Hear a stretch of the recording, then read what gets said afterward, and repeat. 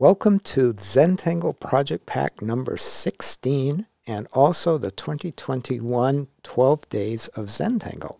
My name is Rick. Hi, I'm Maria.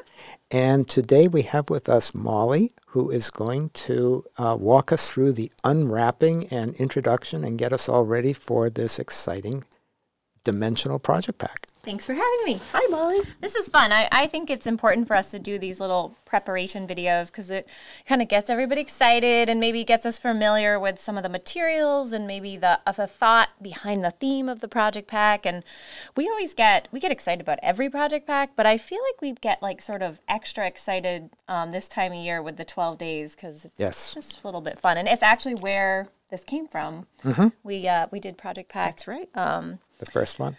Yeah, in the 12 days, I think. So So tell us a little bit about like the inspiration behind this the, this uh, this particular one. Yeah, so the the the title of this um, project pack is called "Keeping Score," and, and that's a little bit of a, a double meaning, shall we say? But um, we are circling around a couple of new tools, but one of them is this. Um, I, I guess it's a scoring device, and Can I open this yeah, sure. If you want to jump into it, yeah, you, I think we could do that.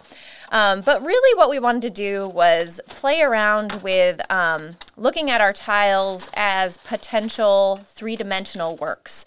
Um, so even though we work um, two-dimensionally, how can we play around with maybe some subtle folds and um, ways to maybe glue them together um, to make these items that might hang or rock or maybe even a something we could interact with, which is kind of fun too.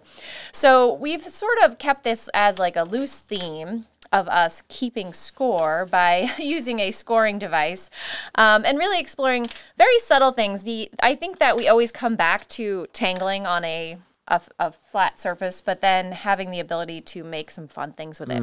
So Rick's pulled open our envelopes, and we have um, some of the tools that we're going to be using. And like we said, we have this really cool scoring device, which we're going to be using to help manipulate um, the paper to fold easier. So that's kind of cool. And actually, maybe playing around with a couple other ways that we can use that tool.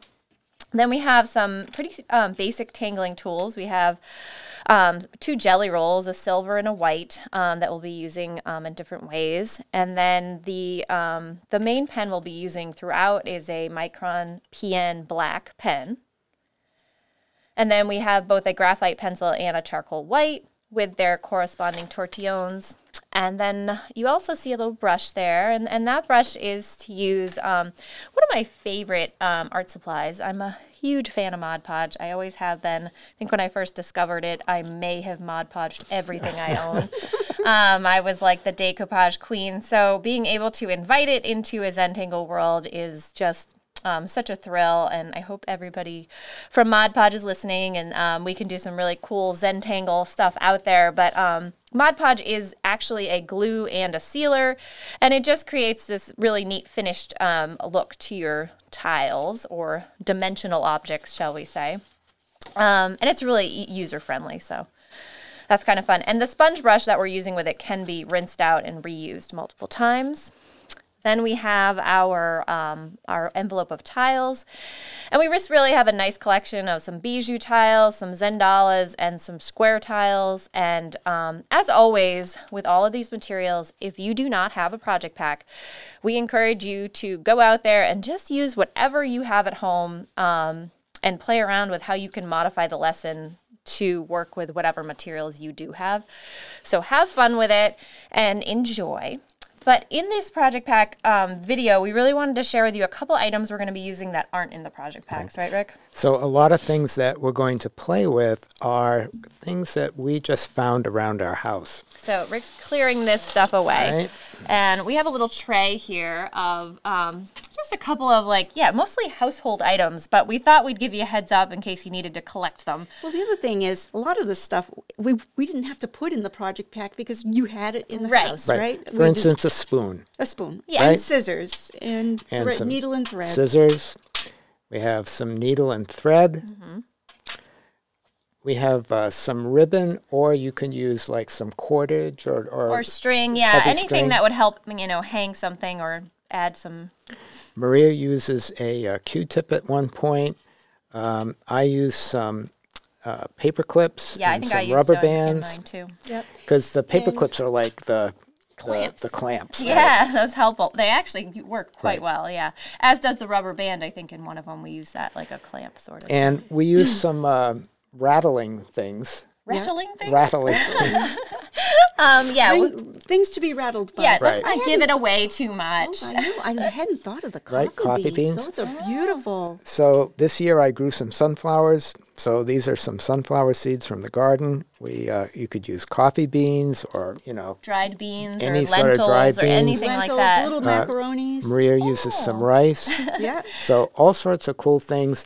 And then No, I, I got one more. I got one more. ah Two Oh, two nickels. Oh, They Yes. have to be nickels or the size of a nickel, approximately. Yeah, Sorta. approximately, which is two Kinda. centimeters. Is that it's what a we it's about two centimeters and Across? it's it's about as thick as a nickel. And uh, And we need two.